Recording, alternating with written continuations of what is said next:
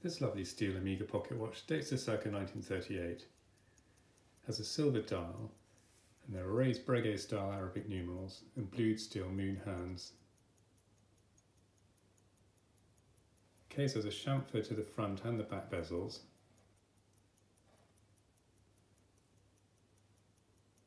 The back is a snap-on friction fitted back. It's mechanical manual wind so in order to wind the watch, you just turn the crown from right to left like this till the spring feels full. Hand settings adjust in normal manner. You just pull the crown out and then you can turn the hands to the desired time.